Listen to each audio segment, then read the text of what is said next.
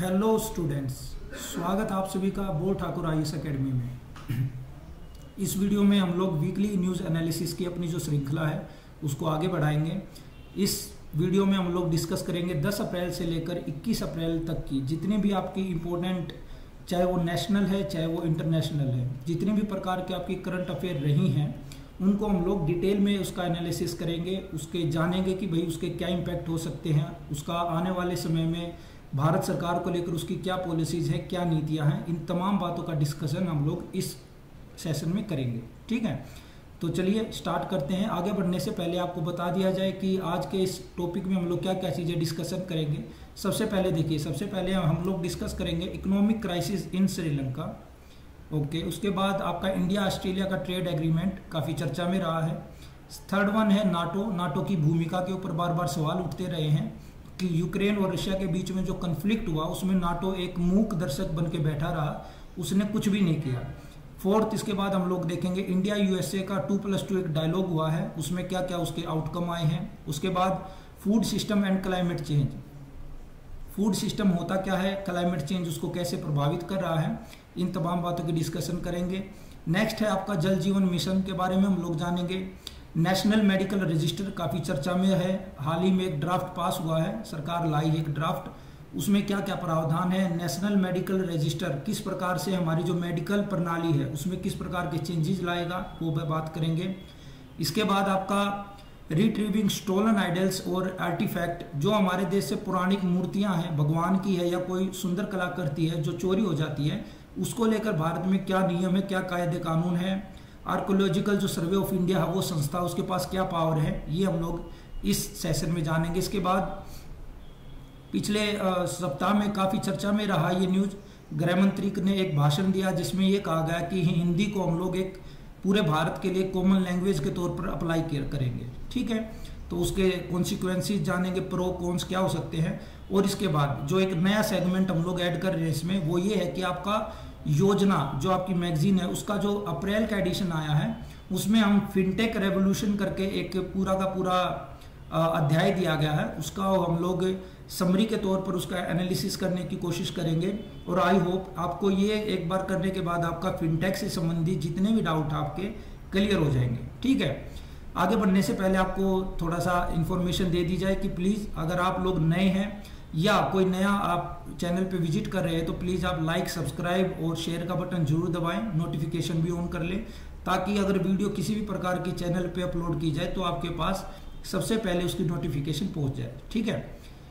तो let start first topic है आपका इकोनॉमिक क्राइसिस इन श्रीलंका अच्छा देखिए, ये कुछ, ये जो दो तस्वीरें हैं, ये अपने आप में ही बहुत कुछ बयां कर रही है। ठीक है, इसमें ज़्यादा एक्सप्लेन करने की बात नहीं है, लेकिन इन तस्वीरों में लोगों के अंदर गुस्सा दिख रहा है, लोगों के अंदर दर्द दीदी दिख रहा है, और लोगों के अंदर बेबसी दिख रही है।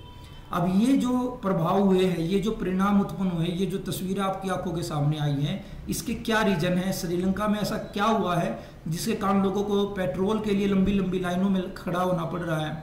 लोग इवन दो जून की रोटी के लिए संघर्ष कर रहे हैं ब्रेड का टुकड़ा इतना महँगा हो गया है तो ये क्या चीज़ें हुई है श्रीलंका में?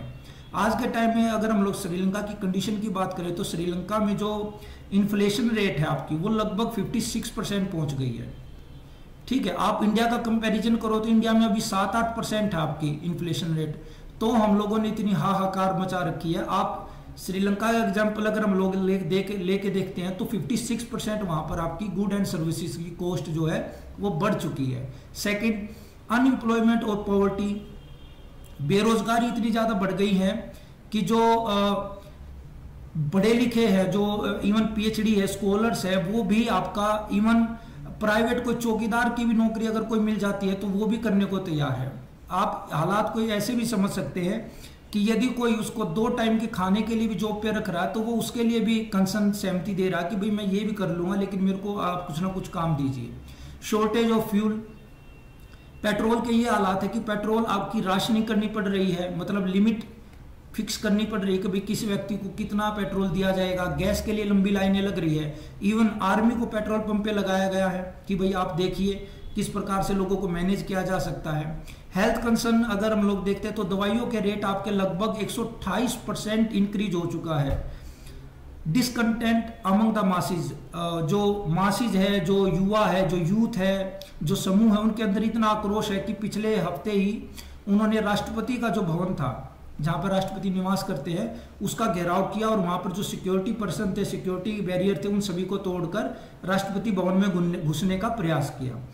और सबसे बड़ा जो इम्पैक्ट देखने को मिल रहा है, वो ये है कि फोर्स माइग्रेशन होने लग रहा है श्रीलंका से। लोग अपनी जान को हथेली पर रखकर समुद्र के रास्ते कहीं ना कहीं से चुप के चोरी छुपे समुद्र में आ, समुद्री जहाज़ से छोटी छोटी नावों से भारत में एंटर करने की कोशिश कर रहे हैं। क्योंकि उनको पता है कि जो भारत की कंडीशन है वो कंपैरेटिवली श्रीलंका से तो बेहतर है। यहाँ पर हम लोग इवन सर्वाइव कर सकते हैं। ये श्रीलंका के हालात है। तो ये लेकिन सवाल ये उठता है कि ये ऐसे क्या रीजन हुए हैं, ऐसे क्या कारण थे कि जिनके कारण आज श्रीलंका इन हालातों में पहुँच गया? तो देखिए, सबसे पहला जो रीजन था, वो था आपका पुअर इकोनॉमिक्स पॉलिसी डिसीज़न गोड पक्षे जो राजा गोड सवे राजा पक्षी जो वहाँ के प्रेसिडेंट हैं, उन्होंने जब इलेक्शन लड़ा तो उस टाइम पर उन्होंने ये वादा किया, जनता को लोक लुभावने जो वादे होते हैं वोट बैंक की पॉलिसीज़ होती हैं, वो राजनीति के खेली उन्होंने कहा कि अगर मैं राष्ट्रपति बन जाता हूँ तो मैं वैट की जो दर है, वो तीस परसेंट से घटाकर आपकी पंद्रह परसेंट कर दूँगा। अब वो चुनाव जीत गए। लोगों को लगा कि भाई टैक्स में राहत मिलेगी, लेकिन इसका जो नेगेटिव इम्पैक्ट होता है, वो ये होता है कि अगर सरकार के पास टैक्स के रूप में टैक्स रेवेन्यू कम हो जाएगा तो सरकार चाहकर भी आवश्यक जो सुविधाएँ हैं, उनको जनता तक नहीं पहुँचा पाएगी। और यही हुआ है श्रीलंका में आपका। ठीक है, लोगों को ना तो दवाई मिल पा रही है, ना इवन आपको पेट्रोल मिल पा रहा है। हेल्थ फैसिलिटी नहीं मिल पा रही एजुकेशन नहीं मिल पा रही रोज़गार नहीं मिल पा रहा है इंफ्रास्ट्रक्चर बिल्डअप नहीं हो पा रहा है तो ये सब किससे होता है? ये सब आपका टैक्स रेवेन्यू के कलेक्शन से होता है, जो कि सरकार का लगातार गिर रहा है। Second one COVID nineteen Sri Lanka की जो इकोनॉमी है, वो बेसिकली क्या टूरिज़्म पर आधारित है, पर्यटन पर आधारित है। अब श्रीलंका में जब टूरिज़्म आपका कोविड 19 आया तो टूरिज़्म बिल्कुल ठप हो गया। अब उसके कारण क्या हुआ कि वहाँ की जो इकोनॉमिक एक्टिविटीज़ थी, वो भी आपकी ज़ीरो हो गई।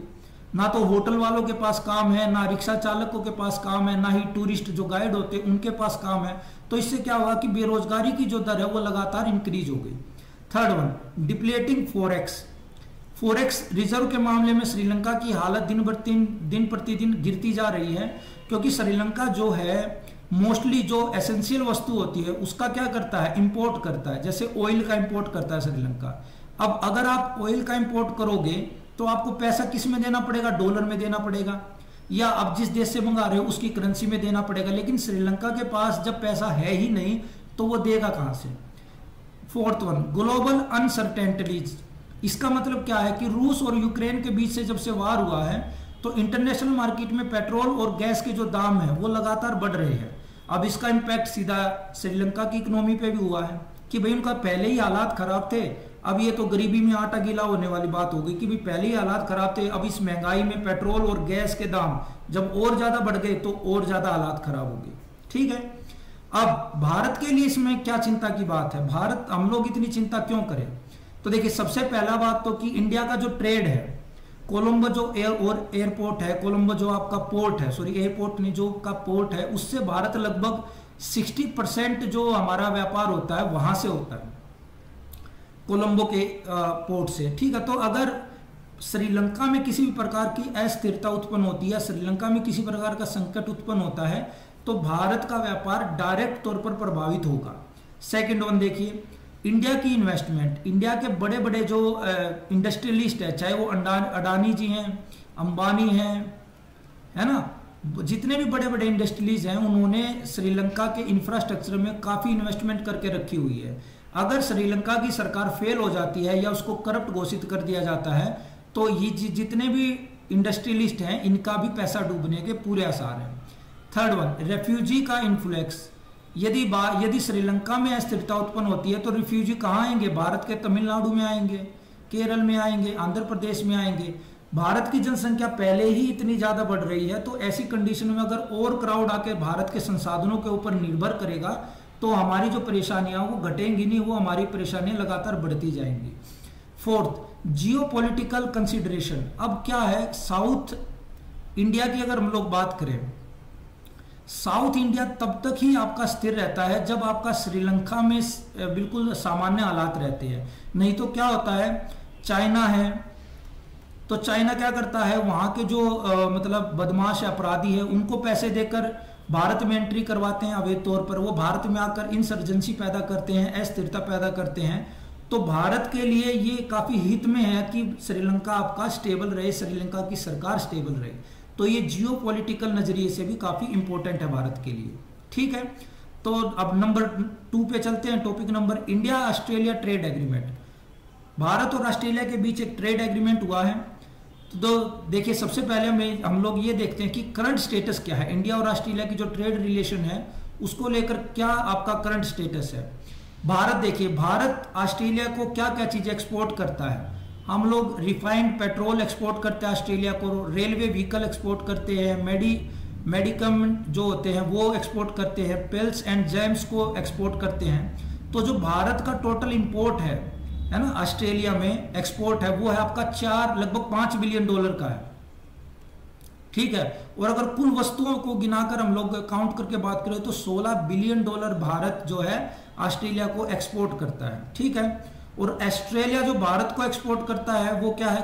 कोयल है नेचुरल गैस है गोल्ड है कॉपर ओर्स और कंसंट्रेट है। तो ये सारी चीज़ें, तुम कुल मिलाकर हम लोग कह सकते हैं कि एक अच्छी तस्वीर है भारत और ऑस्ट्रेलिया के बीच रिलेशन को लेकर ट्रेड रिलेशन को लेकर। अब, क्या नया हुआ है? नया ये हुआ है कि भारत और ऑस्ट्रेलिया ने एक इकोनॉमिक कोऑपरेशन ट्रेड एग्रीमेंट जिसको शॉर्ट फॉर्म में कहा गया ई e इस समझौते के ऊपर एग्रीमेंट के ऊपर एक साइन किए हैं। अब इस समझौते में क्या क्या आपका कोशिश की जाएगी दोनों देशों के बीच में? सबसे पहले जो प्रयास किया जाएगा वो किया जाएगा कि labour intensive sector such as apparel jewellery leather to get duty free access in Australian market from the day of implementation जब से इस एक्ट को, इस एग्रीमेंट को लागू कर दिया जाएगा, तब से ऑस्ट्रेलिया में, चाहे वो लेदर हो, चाहे वो ज्वेलरी हो चाहे वो आपका इस प्रकार का कोई अन्य सामान हो, उसको ड्यूटी फ्री ऑस्ट्रेलिया में भारत से इजिली भेजा जा सकेगा। Second Australia has offered 100 percent market access for all goods from India Australia क्या करता था? पहले ऑस्ट्रेलिया डेयरी प्रोडक्ट को लेकर बड़ा आनाकानी करता था कि भाई हम लोग भारत से डेयरी प्रोडक्टों को ऑस्ट्रेलिया में नहीं आने देंगे। क्योंकि हमारे यहाँ पहले ही अच्छा उत्पादन होता है डेयरी प्रोडक्ट का, जैसे पनीर का, दूध का। लेकिन अब ऑस्ट्रेलिया ने ये रिस्ट्रिक्शन हटा दिया और बोल दिया कि हम लोग अपने बाज़ार को 100 परसेंट आप लोगों के लिए ओपन कर रहे हैं। Third one India has offered lower duty in over 70 percent of its tariff line Bharat जितना भी टैक्स लगाता है, उसके ऊपर 70 परसेंट की छूट देने की भारत ने घोषणा की है कि ऑस्ट्रेलिया का सामान जो भी इंडिया में एक्सपोर्ट होगा, उसके ऊपर हम लोग 70 परसेंट की आपको छूट देंगे। Fourth, a sensitive sector such as dairy and agriculture product will be excluded from the deal. अब जितने भी ये संवेदनशील है जैसे डेयरी के प्रोडक्ट है या एग्रीकल्चर के जो प्रोडक्ट है जो ऑस्ट्रेलिया भारत में बेचता है वो इस समझौते से बाहर रहेंगे। अब यूपीएससी या स्टेट पीसीएस इसको लेकर क्वेश्चन बना सकता वो क्या कहेगा? Sensitive sector such as dairy and agriculture product will also be include from the deal वो एक्सक्लूड की जगह आपको इंक्लूड कर देगा। तो भारत में आपको ये पता होना चाहिए कि भारत में आपका डेयरी सेक्टर और एग्रीकल्चर जो प्रोडक्ट है, वो पहले से ही बहुत ज़्यादा है। ऐसे में अगर हम ऑस्ट्रेलिया को भी मंजूरी दे देंगे कि वो भारत में इजिली एक्सपोर्ट कर दे तो हमारे किसानों का और डेयरी पालकों का तो क्या ही हाल होगा? इसलिए भारत ने इन मामलों में कुछ छूट ली है, ठीक? अब इसका महत्व क्या है? महत्व ये है कि देखिए, अगर ये ईसीटीए e जो एक्ट है, आपका जो एग्रीमेंट है, अगर ये कार्यान्वित होता है अगर ये प्रभाव में आता है तो ट्रेड इन गुड्स में उसमें इजाफा होगा। जैसे labour intensive Indian sector textile gem jewellery leather food farm product automobiles ये फ़ायदे में जाएँगे। Australian coal minerals oil and wines to get easy entry Australia से आपको कोयला मिनरल्स और आपकी जो शराब है, वो इजिली भारत में आ सकेगी। Working group to explore market access issue for both side in whisky and other alcoholic beverage जो भी आपको सप्लाई मिलती है, उसमें छूट मिलेगी। सर्विसेज़ के मामले में देखते हैं कि इंडिया के जो स्टूडेंट हैं, वो ऑस्ट्रेलिया में जाके पढ़ सकेंगे और दो से चार साल का उनको वीज़ा एक्सटेंशन में भी उनको छूट मिलेगी, ठीक है? तो कुल मिला जुला के बस यही बातें हैं इसमें। अब क्वेश्चन अब टॉपिक नंबर थ्री पे चलते हैं हम लोग। नाटो के बारे में जानेंगे, उसका हिस्टोरिकल बैकग्राउंड के बारे में जानेंगे और वर्तमान में यूक्रेन के और रशिया के कंफ्लिक्ट में नाटो ने क्या भूमिका अदा की है, उसके बारे में हम लोग इसमें जानेंगे। तो सबसे पहले नाटो की बात करते हैं। देखिए, शीत युद्ध जब स्टार्ट हुआ, है ना? शीत युद्ध जब स्टार्ट हुआ तो पूरा जो वर्ल्ड था, वो दो ग्रुप में आपका डिवाइड होगा। एक था यूएसएसआर के डायरेक्शन में और एक था आपका यूएसए के डायरेक्शन में। अब यूएसए के नेतृत्व में जो भी देश थे, उन्होंने एक सैन्य संगठन बनाने का प्रयास किया, जिसका नाम दिया गया नॉर्थ अटलांटिक ट्रीटी ऑर्गेनाइजेशन जिसको हम लोग शॉर्ट फॉर्म में नाटो बोलते हैं और 1949 में ये अपने वर्तमान के स्वरूप में आया। ठीक है? आज के टाइम में इसमें 30 कंट्री है। नॉर्थ अमेरिका से लेकर यूरोप के बहुत सारी कंट्री है। देखिए, नाटो का जो मेन पर्पज था मेन पर्पज तो यही था कि भाई ये सेफ़ करेगा किसका? जो भी इस अलायंस में सदस्य देश है, उनकी फ्रीडम का, उनकी सिक्योरिटी का, उनकी राजनीति का और उनके सैनिक जितने भी उनके प्रयास है, उन सभी में मिलजुल कर सभी देश इसमें पार्टिसिपेट करेंगे और एक दूसरे की समस्याओं को हल करने का प्रयास करेंगे। बट क्या वास्तव में ऐसा हो पाया? देखिए नाटो कुल मिलाकर अगर हम लोग आज की स्थिति में देखते हैं तो कुल मिलाकर नाटो आज की स्थिति में हमें पूरी तरीके से फेल नज़र आता है है ना? पूरी टोटली फेलियर नज़र आता है नाटो। कैसे नज़र आता है? देखिए, जब रशिया ने करीमिया का अतिक्रमण किया तो क्या नाटो ने उसको रोक लिया? जवाब है नहीं। जब अफ़गानिस्तान में आपका तालिबान ने पूरे अफ़गानिस्तान को कैप्चर कर लिया, अमेरिका वहाँ से चुपचाप निकल गया तो क्या नाटो ने अफ़गानिस्तान की जनता को या वहाँ के लोगों को कुछ सेफ्टी प्रोवाइड की? तो आंसर है नहीं। रशिया और यूक्रेन के मामले में आज आप देख लीजिए, यूक्रेन को आगे कर कर यूएसए ने बोल दिया कि भाई, यूक्रेन अपनी जो मातृभूमि है, अपनी जो देश भूमि है, उसकी रक्षा के लिए अपने प्राणों की आहुति दे देगा। लेकिन बैक एंड से फ्रंट के तौर पर नाटो ने कुछ भी नहीं किया। अब कहने को बोल दिया कि भाई, हम लोग आपको हथियार देंगे, सेना देंगे अन्य सामग्री देंगे, लेकिन लड़ने की ज़रूरत किसकी है? लड़ने के लिए तो सैनिक चाहिए। यूक्रेन के पास इतने सैनिक है ही नहीं। आपने देखा होगा कि यूक्रेन के लोग ट्रेनिंग ले रहे हैं सेना की बट उससे क्या आप रशिया के जो ट्रेंड आपके सैनिक है, उनके साथ आप फाइट नहीं कर सकते हो।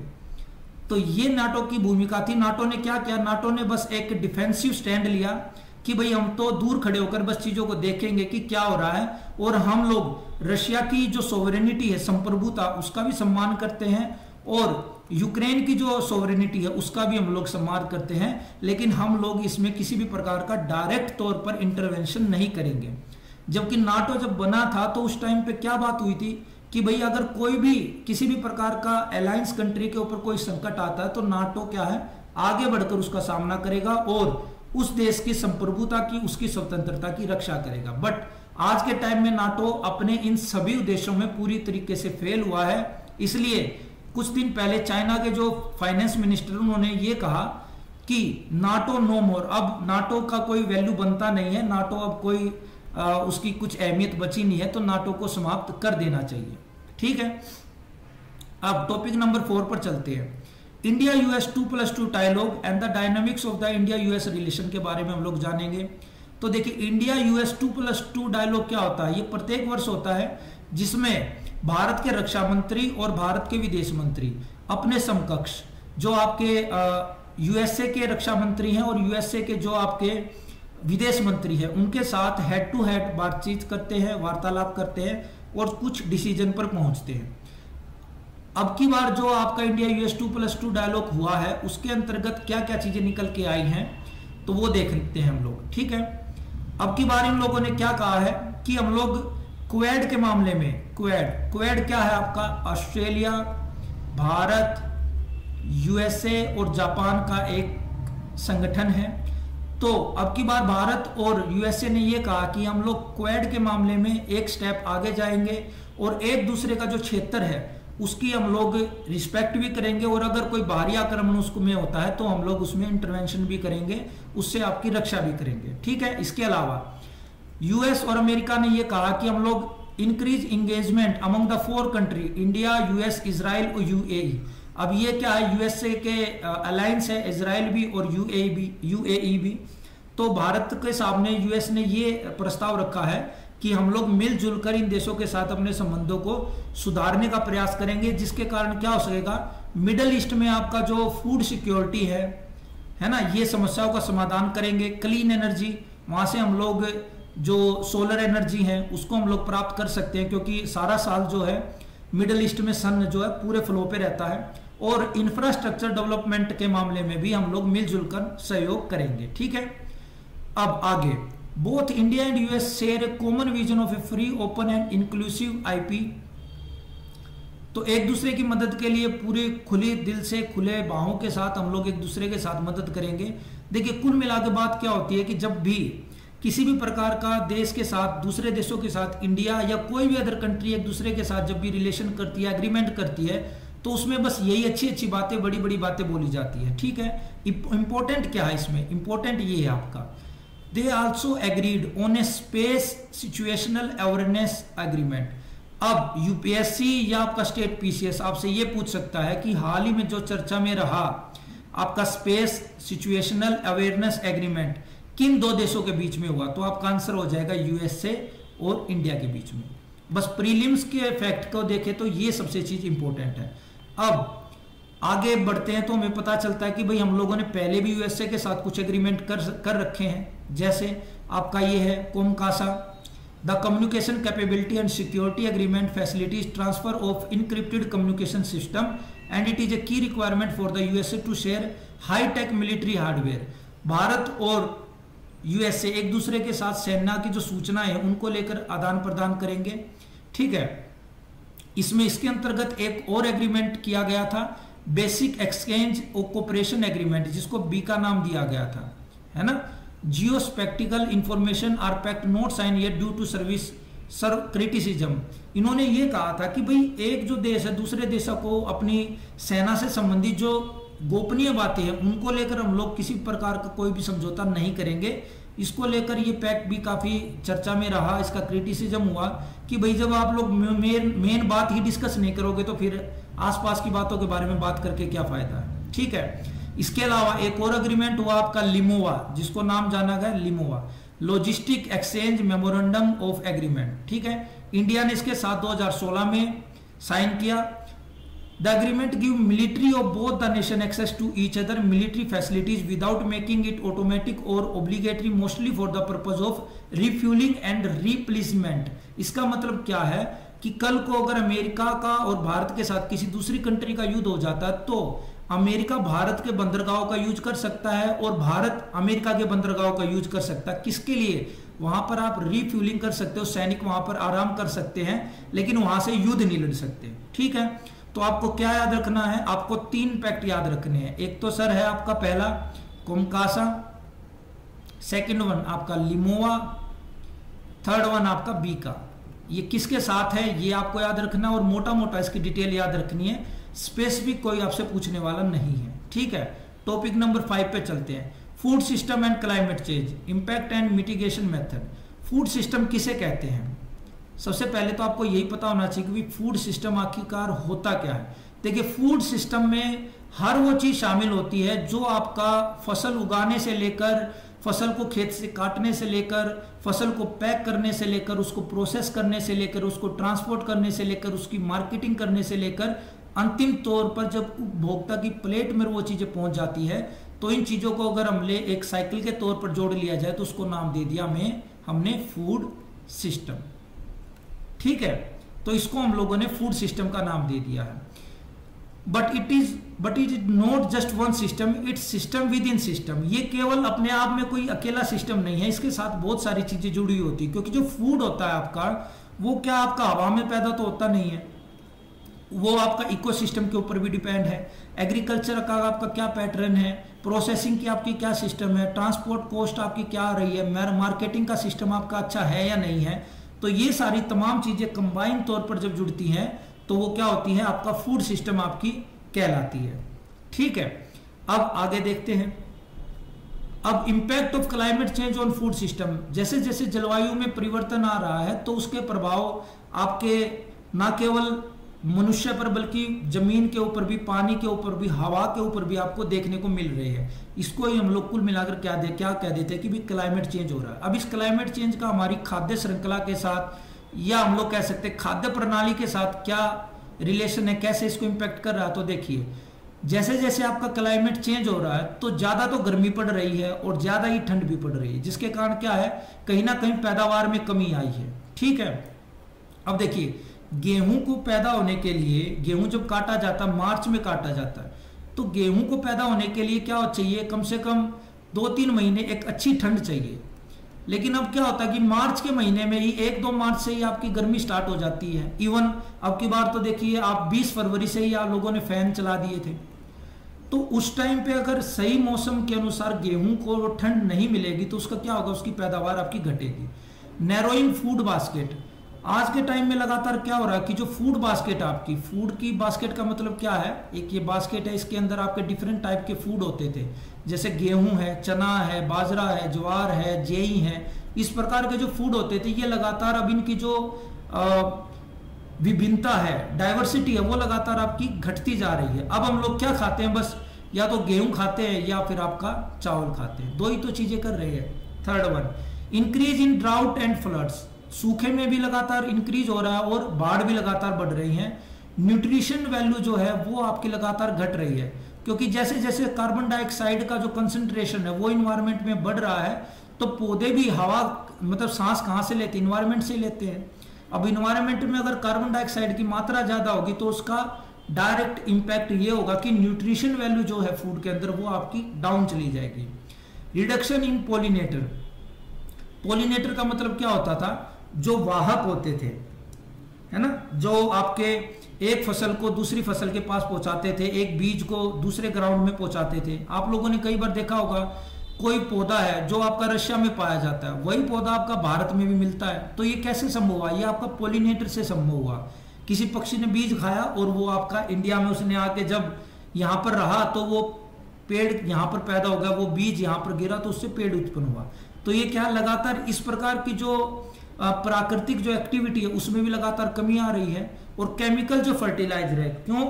क्योंकि अब किसानों को तो बेनिफिट देखिए, किसान अगर खेती कर रहा है तो कोई भी व्यक्ति अगर खेती करता है तो उसको बेनिफिट तो चाहिए ना। कोई भी व्यक्ति अगर कोई भी रोज़गार कर रहा है तो उसको प्रॉफिट तो चाहिए।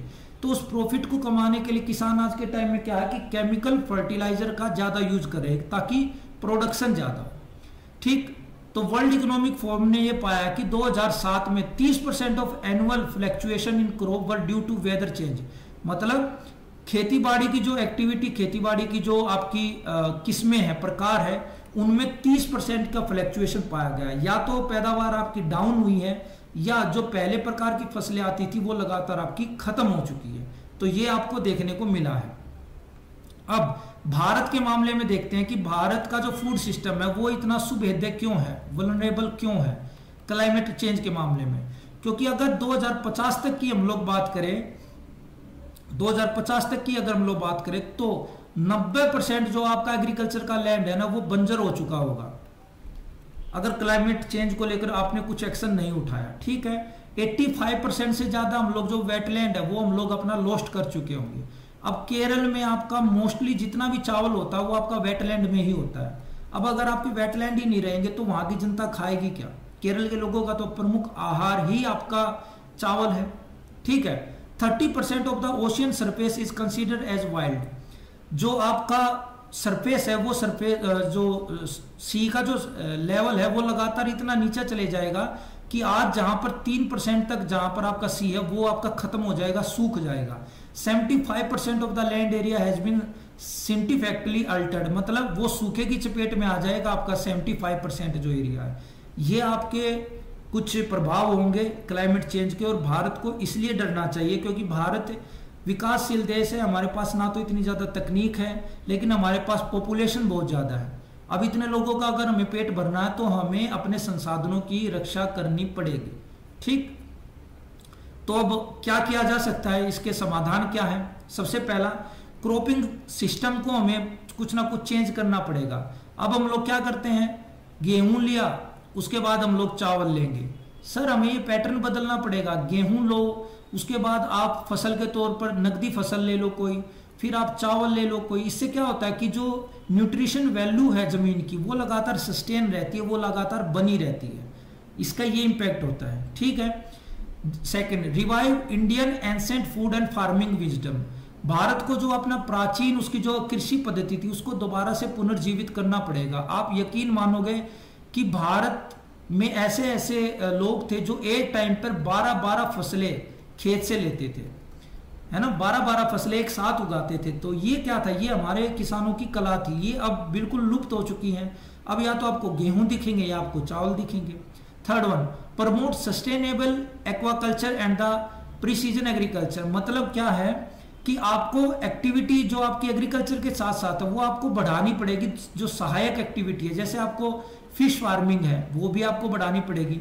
केवल केवल और आप एग्रीकल्चर के ऊपर डिपेंड होकर तो नहीं रह सकते, है ना? इसके बाद आप कोलोबरेटिव अप्रोच इसमें केवल सरकार को हम लोग दोष नहीं दे सकते।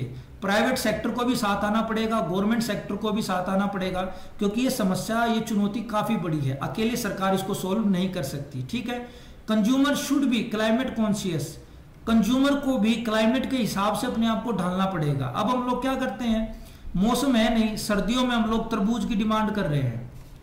है ना? सर्दियों में तरबूज की डिमांड कर रहे हैं। तो इससे क्या होगा कि ये आपका जो क्लाइमेट है, उसके ऊपर इंपैक्ट जाता है। आप वो चीज़ का यूज़ कीजिए जो आप मौसम के हिसाब से आपके सामने उत्पन्न हुई है, आप उसको कंज्यूम कीजिए जो मौसम के अनुसार पैदा होती है। मौसम के साथ छेड़छाड़ मत कीजिए, वो आपके शरीर को भी हार्मफुल पहुंचाएगा, हानि पहुंचाएगा और आपकी जेब पर भी ज़्यादा प्रभाव पड़ेगा। इनोवेटिव मेजर भारत को नई तकनीक, जैसे आप एग्रीकल्चर के मामले में आर्टिफिशियल इंटेलिजेंसी का यूज़ कर सकते हो, जैसे आप ड्रिप तकनीक का यूज़ कर सकते हो। जैसे आप ज़ीरो फ़ार्मिंग का यूज़ कर सकते हो, ज़ीरो बजट फ़ार्मिंग का यूज़ कर सकते हो। तो इस प्रकार के हमें कुछ इनोवेटिव मेजर अपनाने पड़ेंगे, ठीक है? इनक्रेज मोर डाइवर्स डाइट हमें डाइट के मामले में विविधता लानी पड़ेगी। जैसे हमें गेहूँ के साथ चना, बाजरा, जई, मक्का, इनका उत्पादन भी बढ़ाना पड़ेगा। इस, ये तब बढ़ेगा जब लोग इनकी डिमांड करेंगे। इसलिए लोगों को हमें जागरूक करना होगा कि, सर आप ज़्यादा से ज़्यादा आप इन चीज़ों के ऊपर ध्यान दीजिए। ये आपके हेल्थ के लिए भी अच्छा है और आपकी इन्वायरमेंट के लिए भी अच्छा है, ठीक है? क्वेश्चन टॉपिक नंबर सिक्स पे आइए। जल जीवन मिशन। तो जल जीवन मिशन की अगर हम लोग बात करें तो भारत सरकार का क्या प्रयास है कि भारत सरकार 2024 तक सभी ग्रामीण घरों में टूटी के द्वारा, ठीक है, नल के द्वारा नल युक्त साफ़ पेयजल पहुँचाने के लिए भारत सरकार कार्यरत है, ठीक है? अब जल जीवन मिशन के अगर हम लोग और पहलुओं की बात करें तो ये क्या करेगा? Integrated demand and supply side management of water at the local level हमें ग्रामीण स्तर पर ही आपका जो आपकी मांग है और उसकी जो आपूर्ति है, वो आपको लोकल लेवल पर ही हम सरकार उसको प्रयास करेगी कि उसको प्राप्त कर ले। Will converge with other central and state government scheme सरकार क्या करेगी कि ये जल जो, जल जीवन मिशन है, इससे संबंधित अगर कोई पहले से ही कोई मिलती जुलती योजना चलाई गई है तो उसके साथ उसको मर्ज कर देगी ताकि इसका इंपैक्ट जल्दी जाए, लोगों को बेनिफिट ज़्यादा मिले। फोर्थ वन है creation of local infrastructure for rain water harvesting है ना? जो बरसात का पानी ऐसे ही वेस्ट हो जाता है, आप नहाने की मस्ती में उसको वेस्ट कर देते हैं तो उसको क्या करना होगा? आपको स्टोर करना होगा। उसकी हार्वेस्टिंग करनी होगी ग्राउंड वाटर को रिचार्ज करना होगा आपको। तो ये क्या है? इससे क्या होगा आपका? हमारे पास जो जल की जो अधिकता है वो बढ़ेगी। ठीक है, तभी तो हम लोग प्रत्येक व्यक्ति को जल पहुँचा पाएँगे। अब जल जीवन मिशन के अगर हम लोग अचीवमेंट की बात करें तो देखिए भारत में 24.62 परसेंट हाउस होल्ड जो है, आज के टाइम में टैप वाटर से जल प्राप्त कर रहे हैं। ठीक है? इकतालीस परसेंट का जो डाटा है वो आपके पास आ चुका है मिनिस्ट्री के पास, जो वाटर मिनिस्ट्री उसके पास आ चुका है। कुछ हमारे जो स्टेट है, वो हंड्रेड परसेंट आपके नल युक्त हो चुके हैं। वहाँ के जो हाउस होल्ड है, उनको सभी घरों को नल के द्वारा पानी पहुँचाया जाता है, जैसे गोवा, तेलंगाना, अंडमान, निकोबार, पदुचेरी, दादर नगर, हवेली, दमन एंड द्वीप extra top five state nearing the target of 100 percent hundred percent coverage के मामले में कौन से स्टेट है जो आपके नज़दीक पहुँच चुके हैं? हरियाणा, बिहार, गुजरात, पंजाब। तो ये आपके लिए क्या है? एक एक्स्ट्रा मटेरियल है। आपके दिमाग में अगर रहेगा तो आप कल को मेंस में अक्सर अगर आंसर लिखोगे तो आपके लिए बेनिफिट रहेगा। ठीक है? अब चैलेंज क्या है? चैलेंज ये है कि सबसे पहली बात तो जियोग्राफिकल डाइवर्सिटी बहुत जाता है इंडिया में, है ना? आप उत्तराखंड इतना ज़्यादा वनों से घिरा हुआ है फॉरेस्ट कवर इतना ज़्यादा है कि वहाँ पर आप नल के माध्यम से, क्योंकि नल के लिए आपको पहले पाइप डालनी पड़ेगी ज़मीन में तो वो इतना डाइवर्सिटीफाई है फॉरेस्ट से तो वो उस वहाँ पर पॉसिबल ही नहीं हो पा रही है चीज़ें। तो जियोग्राफिकल कुछ चैलेंज है India second fluctuation in the rainfall pattern वर्षा भी हमारे यहाँ कभी ज़्यादा हो जाती, कभी कम हो जाती है। अगर हम रेन हार्वेस्टिंग की बात भी करें तो उसके लिए एक सस्टेन अमाउंट में रेन तो चाहिए ना, लेकिन इसे भी फ्लैक्चुएशन हो रही third one over exploitation of ground water ये तो सबसे बड़ी समस्या है। हम, हमारे खुद की भी है, हमारे घरों में भी है। अब हम क्या करते हैं कि गाड़ी धो रहे हैं, या अपने डोगी को नहला रहे हैं, या गार्डन में पानी दे रहे हैं तो खोल दिया पानी। चलने दो चार घंटे तक। समरसिबल का नल से अगर पानी आ रहा तो। तो आपको लग रहा कि क्या होगा, इससे बिल ही तो आएगा थोड़ा बहुत ज़्यादा। लेकिन सर, बिल को तो आप फिर भी सहन कर लोगे, लेकिन अगर कल को ग्राउंड वाटर समाप्त हो गया ना तो वो फिर आपके, आप मुश्किलें खड़ी कर देगा। उसका कोई अल्टरनेट नहीं है। ठीक है?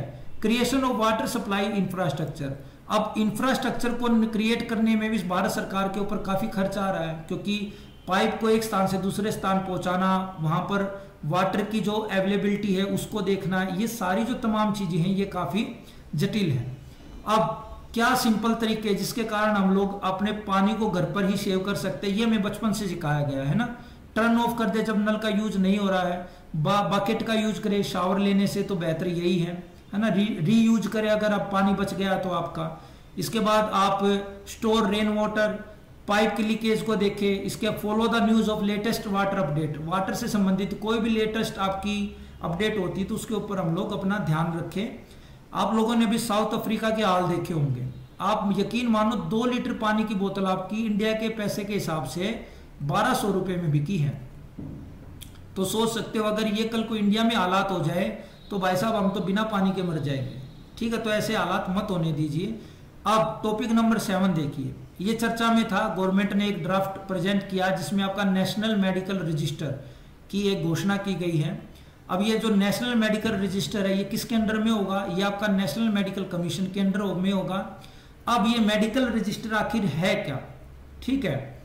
देखिए, अभी क्या है? अभी जो भी मान लो कोई कैंडिडेट है, वो एमबीबीएस पूरी करता है तो उसको अगर डॉक्टर की प्रैक्टिस करनी है ना तो उसको अपने स्टेट मेडिकल काउंसिल के पास खुद को रजिस्टर कराना पड़ता है।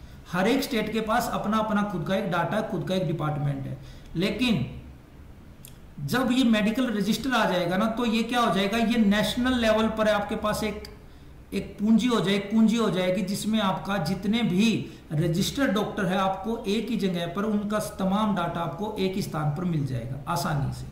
ठीक है, ये इसका बेनिफिट होगा। अब एडवांटेज और अगर हम लोग एडवांटेज की बात करें तो देखिए, सबसे बड़ा एडवांटेज ये होगा कि the open registration to the foreigner doctor the guideline open the registration to foreign doctor who want to come to India to study in post graduation courses fellowship clinical research और voluntary clinical services इससे क्या होगा कि आप विदेश से जो doctor यहाँ पर इंडिया में आकर प्रैक्टिस करना चाहते हैं कोर्स करना चाहते हैं फेलोशिप करना चाहते हैं, उनके लिए जो रजिस्ट्रेशन की प्रक्रिया है वो बिल्कुल आसान हो जाएगी। सेकंड अभी क्या होता है? अभी ये होता है कि जो विदेशी डॉक्टर है ना, वो इस फचड़े में पढ़ना नहीं चाहते, इसलिए वो इंडिया में आते ही नहीं, जिसके कारण हमारे यहाँ पर डॉक्टरों की कमी बनी रहती है। अभी इंडिया में हालात ये है कि लगभग बारह हज़ार लोगों पर एक रजिस्टर्ड डॉक्टर है।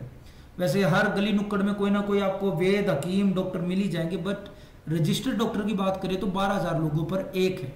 Second facilitate the arrival of the foreign expert ये फॉरेन एक्सपर्ट को बढ़ावा देगा कि आप भारत में आइए, काम कीजिए, आपको यहाँ पर परमिशन मिलने में बहुत आसानी होगी। आप इजिली आकर आप अपना यहाँ पर रजिस्ट्रेशन करा सकते हैं। ठीक है? चेक एरर इन रजिस्ट्रेशन अगर कोई फ्रॉडबाजी करता है तो आपके पास एक यूनिक आईडी है। प्रत्येक डॉक्टर को एक यूनिक आईडी दी जाएगी। वो आपने डाटा में डाली कंप्यूटर आपको बता देगा, ये फर्जी है या सही है। इससे और आसान हो जाएगा। ठीक? Benefit of the unique ID ये हम लोगों ने डिस्कस कर लिया है। किससे क्या होगा कि इससे जो झोला छाप जो डॉक्टर होते हैं इस प्रकार की जो समस्याएँ होती हैं वो भारत में, इनसे काफ़ी हद तक हमें छुटकारा मिल जाएगा और एक बेहतर इंफ्रास्ट्रक्चर हेल्थ इंफ्रास्ट्रक्चर भारत में डेवलप हो पाएगा। अब create level playing field for domestic and foreign medical student अब देखिए, इसका सबसे बड़ा ये है, ये फ़ायदा भी है, नुकसान भी है। देखिए, अभी क्या है? अभी ये है, मान लो कोई स्टूडेंट है, वो इंडिया में उसने एमबीबीएस किया। उसका एक एग्ज़ाम होगा फाइनल ईयर का, वो अगर उसने पास कर लिया तो वो आपको एज ए डॉक्टर वो खुद को रजिस्टर करा सकते हैं। फॉरन से अगर कोई बच्चा, मान लो रूस से कोई बच्चा अगर एमबीबीएस करके आया तो अभी प्रावधान ये है कि उसको भारत में आकर एक टेस्ट देना पड़ेगा पहले। अगर वो उस टेस्ट को क्वालिफाई करता, तब जाकर वो भारत में प्रैक्टिस कर सकता, तब उसका रजिस्ट्रेशन वैलिड माना जाएगा। लेकिन अगर ये नेशनल मेडिकल जो रजिस्टर है, इसको इंप्लीमेंट किया गया, अभी तो ड्राफ्ट की कंडीशन में है, कल को अगर इसको इंप्लीमेंट किया गया तो इंडिया के जो स्टूडेंट है, उनको भी आपका ये टेस्ट देना पड़ेगा। और जो विदेश से आ रहे हैं, उनको भी टेस्ट देना पड़ेगा। तो मेडिकल स्टूडेंट के लिए तो ये दोहरी मार हो जाएगी ना। आप समझ के देखो, पहले आप नीट में एडमिशन के लिए कोचिंग लो, वहाँ से फाइट करो, वहाँ एडमिशन लो। उसके बाद फिर एमबीबीएस के लास्ट ईयर में आकर आप चार साल, पाँच साल आप एग्जामिनेशन देकर आप एमबीबीएस करो। फिर आपको डॉक्टरी करनी है तो आप एक और टेस्ट क्लियर करो। फॉरन से कोई कोई आ रहा है इंडिया में तो वो भी एक टेस्ट क्लियर करे। तो सर, इससे क्या होगा? इससे जो कोचिंग इंडस्ट्री है ना, उसको कहीं ना कहीं सरकार डायरेक्ट और इनडायरेक्ट तौर पर बढ़ावा दे रही है। क्योंकि इससे क्या होगा? मान लो बहुत सारे स्टूडेंट ऐसे भी होते हैं जो प्राइवेट तौर पर आपने मेडिकल कर लिया, लेकिन उनको आता जाता कुछ नहीं है। उसके कारण क्या होगा? फिर वो डॉक्टरी नहीं कर पाएँगे। अब डॉक्टरी करने के लिए उनको पहले एक नेक्स्ट जो ये टेस्ट है ना, ये नाम है नेक्स्ट का। ये आपको क्वालिफाई करना पड़ेगा। अगर आप इसको क्वालिफाई नहीं कर पाओगे तो आप फेल हो जाओगे। तो फिर आपकी कोई वैल्यू नहीं है कि आपने बेसिक एमबीबीएस की है या नहीं की है। अब जो डॉक्टर है, वो इसका विरोध इसलिए कर रहे हैं कि भाई ना तो आर्ट वाले में, ना कोई बीएससी एमएससी करता उसको। इस प्रकार का टेस्ट तो किसी को भी नहीं देना पड़ता। क्या कोई आईआईटी करके अगर उसको कोई जॉब करनी है तो उसके लिए कोई पहले उसको टेस्ट देना पड़ेगा क्या? पासिंग टेस्ट कि भाई मेरे को रजिस्टर करना है एज ए डॉक्टर के तौर पर एज ए इंजीनियर के तौर पर, ऐसा किसी भी स्ट्रीम में नहीं है तो वाई इन मेडिकल स्ट्रीम ये सवाल है डॉक्टरों का, ठीक है? अब आठवां टॉपिक देखते हैं आपका retrieving stolen idols and the artefact देखिए, किसी भी देश की जो हेरिटेज होती, जो विरासत होती है, वो आपकी या तो आपकी चल संपत्ति होती है, अचल संपत्ति होती है। अचल का मतलब जो मोनुमेंट जो यहाँ पर बनाए गए हैं, जिसको एक स्थान से दूसरे स्थान पर नहीं ले जाया जा सकता। जैसे ताजमहल कुतुब मीनार जामा मस्जिद, इस तरह की चीज़ें। और कुछ ऐसी होती जो जो चल संपत्ति होती है, जिसको एक स्थान से दूसरे स्थान पर मूव किया जा सकता है। वो होती हैं आपकी मूर्तियाँ। है ना? किसी प्रकार के की इंपॉर्टेंट पत्थर जो काफ़ी इंपॉर्टेंट थे, जिनको बनाया गया था, तराशा गया था। तो 2013 की एक रिपोर्ट के अनुसार कैग ने कहा कि 131 जो एंटीक्यूटीज हैं, जो मोनुमेंट साइट्स है, वो भारत से चोरी हुए हैं, ठीक है? और आपके इनमें से 200 तो आपके और आइडल्स है are being return by the US Britain जिसमें से 200 आपको वापस दिए गए हैं। तो ये तो हालात है इंडिया में कि इतनी बड़ी मात्रा में, इतनी बड़ी संख्या में हमारे इंडिया से जो हमारी हेरिटेज है, उसको चोरी कर लिया जाता है। Smuggling a sent some major antique that have been stolen from the Indian in the past decade ठीक है? संत संत आपकी मणिकवाचर ये आपकी ग्यारहवीं सेंचुरी की एक तमिलनाडु से चोरी हुई, इसकी वैल्यू देखिए आप, एक मिलियन ठीक है? मोहकाला देवता, उमा परमेश्वरी, आपकी मिथुना, ये सब क्या है? ये आपकी चोरी हुई है और इनकी जो वैल्यू है वो देखिए आप, एक लाख पच्चीस हज़ार डॉलर आपकी, इतनी इतनी महँगी भी कर रही है तो ये कहीं ना कहीं भारत का नुकसान ही हो रहा है। अब भारत में इन सारी चीज़ों की जो सेफ्टी करता है उसकी ज़िम्मेदारी किस संस्था को दी गई है, वो है आपकी the Archaeological Survey of India को, ठीक है? ये किसके अंडर में काम करता है? ये मिनिस्ट्री ऑफ़ कल्चर के अंडर में काम करता है। ये आपका प्रीमियर ऑर्गेनाइजेशन है, जिसका काम क्या? कल्चर जो आपकी हेरिटेज है, उनको मेंटेन रखना, उनको ऑर्गेनाइज करना और उनको सुरक्षित रखना है ठीक है? हमारे जो संविधान में आर्टिकल 51 की बात करें 51 ए जो आपका फंडामेंटल ड्यूटीज़ से संबंधित है, उसमें कॉन्स्टिट्यूशन कहता है the constitution mention that it shall be the duty of every citizen of India to value and preserve the rich heritage of our composite culture तो ये हमारी जो सांस्कृतिक विरासत है कंबाइन तौर पर, उसकी सुरक्षा, उसकी रक्षा करने की ज़िम्मेदारी प्रत्येक नागरिक को है, ना कि केवल राज्य को। इंटरनेशनल कोलेबोरेशन की बात करें तो भारत सरकार ने, ये इंपॉर्टेंट है फैक्ट है, आ सकता है यूपीएससी में स्टेट पीसीएस में भी कि India is a signatory to the 1917 UNESCO convention on the means of provision and preventing the illicit import export and the transfer of ownership of culture property जो आपकी सांस्कृतिक प्रकार की जितनी भी हेरिटेज विरासतें हैं, मूर्तियाँ हैं, इस प्रकार की कोई भी चोरी होती है तो भारत ने यूनेस्को के साथ, विभिन्न देशों के साथ एक एग्रीमेंट किया है कि भाई हम लोग आपसी सहमति से एक दूसरे के साथ हम लोग इसका आदान प्रदान करेंगे। ठीक है? तो भारत ने इसको रेटिफाई कब किया? 1977 में। ये आपसे पूछा जा सकता है। अब टॉपिक नंबर नाइन पे आइए। Hindi as a language constitutional provision क्या भारत को, क्या भारत में हिंदी को पूरे भारत के लिए एक सामान्य भाषा बनाया जा सकता है?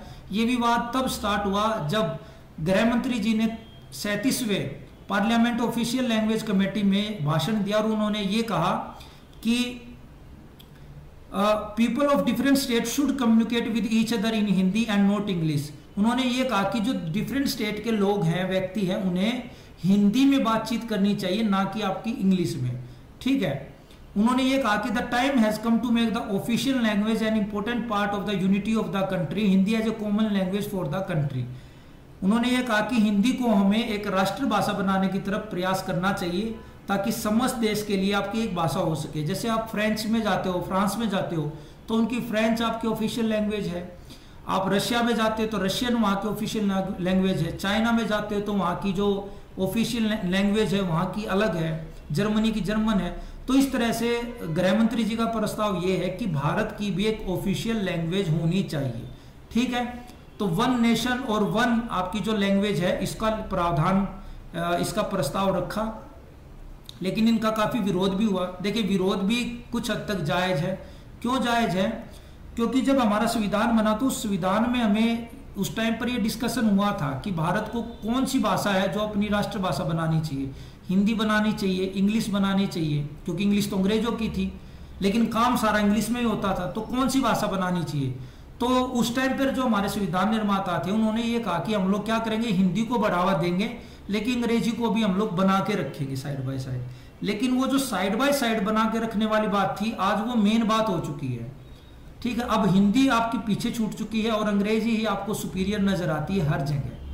तो ये होना नहीं चाहिए था, लेकिन हो चुका है। अभी ये है कंडीशन तो गृह मंत्री ने जो प्रस्ताव रखा कि हिंदी लैंग्वेज को आपको प्रेमियर भाषा के तौर पर आपको यूज़ करना चाहिए। ठीक है?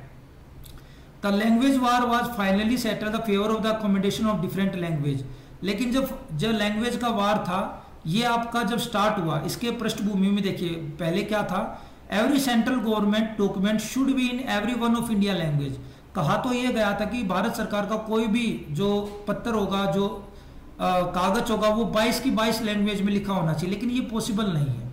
इसलिए वर्तमान समय में आपका दो लैंग्वेज में ही आपको देखने को मिलता है, हिंदी और इंग्लिश में। ठीक है, लेकिन ऐसा कोई रोक नहीं है। कोई अगर राज्य सरकार है, वो अपनी राजकीय भाषा में कुछ प्रिंट जारी करना चाहती है तो उसके ऊपर कोई रोक नहीं है, वो कर सकती है। हम कॉन्स्टिट्यूशनल प्रोविज़न की बात करते हैं, जहाँ से क्वेश्चन आपके आ सकते हैं। आर्टिकल 343 की बात करते हैं। According to this article the official language of the union of India is to be Hindi in Devanagari script and numeral should follow the international form of Indian numerical हम official language के तौर पर हिंदी का use करेंगे। And गणित के तौर पर हम लोग इंटरनेशनल जितने भी अंक हैं, उनका यूज़ करेंगे। The article also state that the English will continue to be use an official language for 15 years from the commencement of the constitution संविधान जब से लागू होगा तो 15 साल तक आपकी इंग्लिश आपकी रहेगी। ठीक है? लेकिन ऐसा हुआ नहीं। इंग्लिश आपकी लगातार बनी हुई है, आज तक बनी हुई है। आर्टिकल थ्री फोर सिक्स की बात करते हैं। The article is about the official language for communication between the state and the state and the union. विभिन्न राज्यों के बीच में ऑफिशियल लैंग्वेज क्या होगी? एक राज्य दूसरे राज्य से अगर पत्र व्यवहार करेगा लेटर क्या आदान प्रदान करेगा तो क्या लैंग्वेज होगी?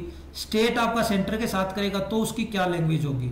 The article state that the authorise language will be use for official communication however if two or more state agree that their communication shall be in Hindi then Hindi may be used मतलब कुल मिला के बात यह है कि वर्तमान में तो इंग्लिश भाषा यूज़ होती है, लेकिन इसके ऊपर कोई रोक नहीं है। अगर किसी को हिंदी भाषा का यूज़ करना तो वो भी कर सकता है। आर्टिकल थ्री फोर सेवन क्या कहता है कि प्राइमरी लेवल पर, प्राथमिक स्तर पर जो बच्चों को एजुकेशन दी जाएगी, वो आपका किसमें दी जाएगी? वो आपकी मदर टंग में दी जाएगी, मातृभाषा में दी जाएगी, जिससे बच्चों का विकास जल्दी होगा अच्छा होगा।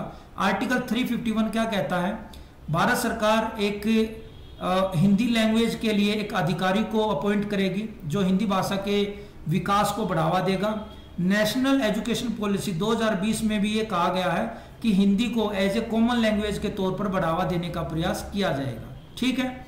अब लास्ट टॉपिक पर हम लोग आते हैं। टॉपिक नंबर आपका दस है। योजना जो आपकी मैगजीन है, उसकी अप्रैल समरी उसमें हमें फिनटेक के बारे में बताया गया है। फिनटेक देखिए, जानते हैं फिनटेक क्या है।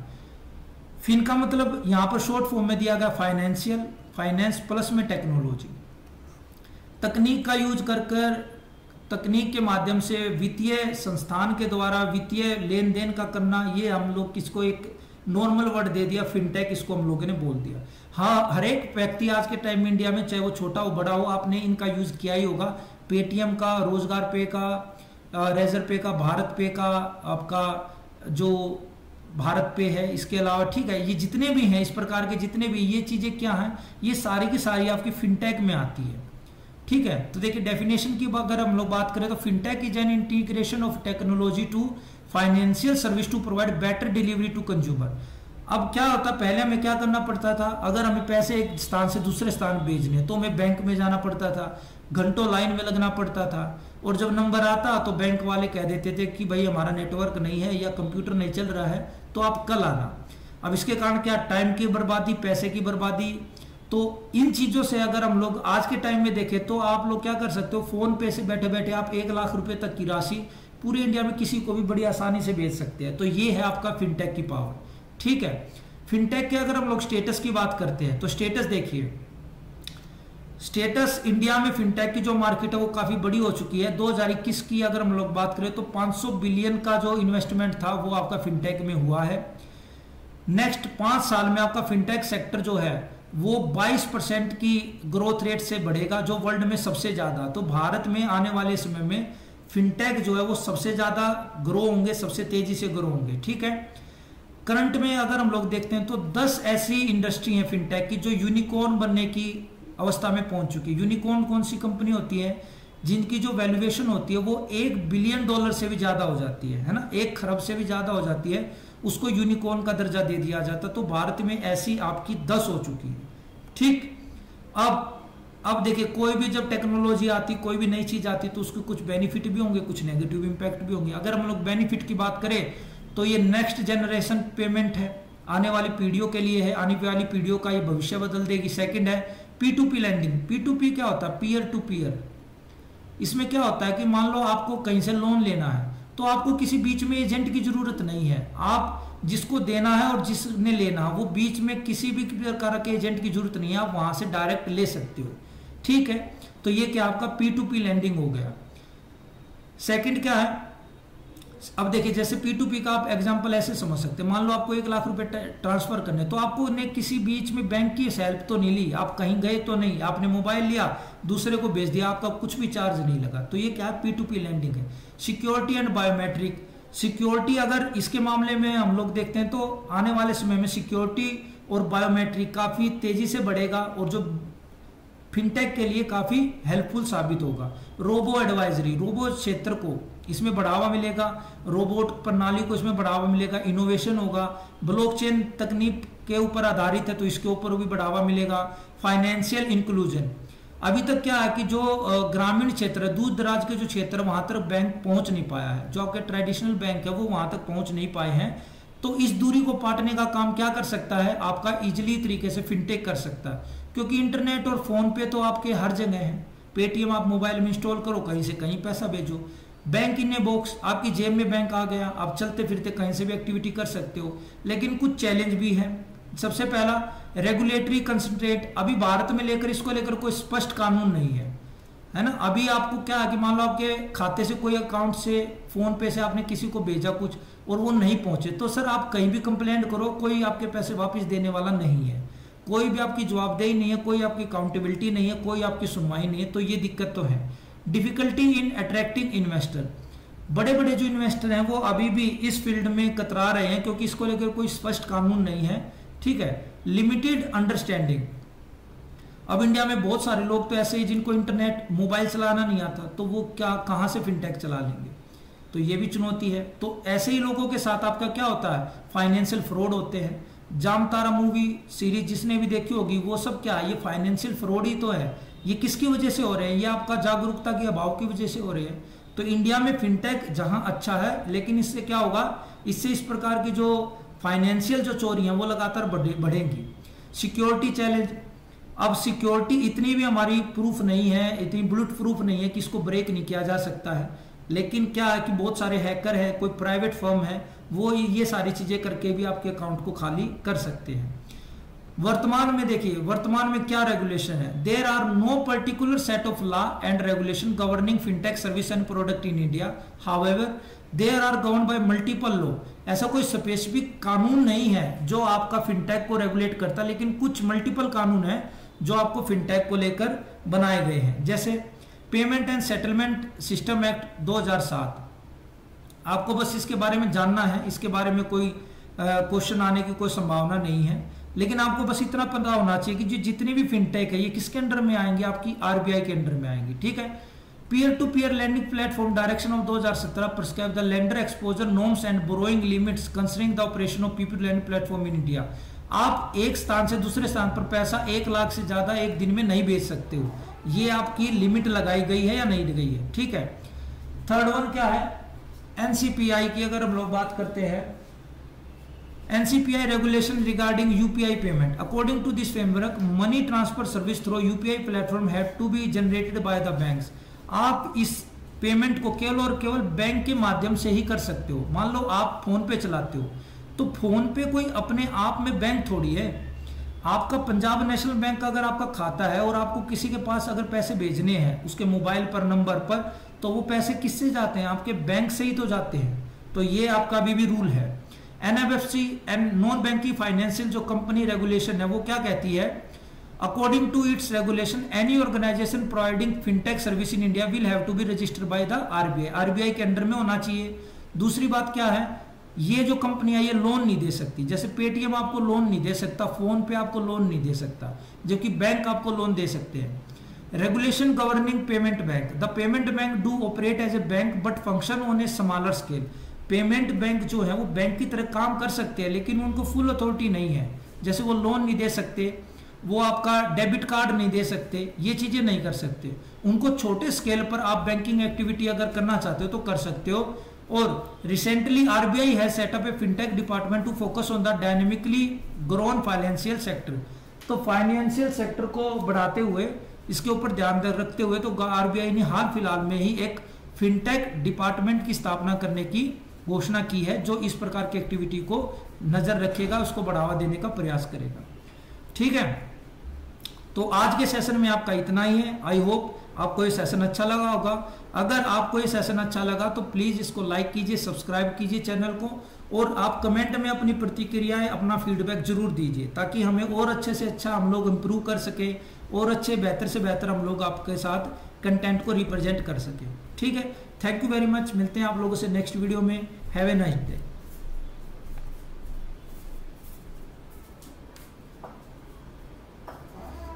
ज़्यादा नहीं इजी कट दिए कट जाए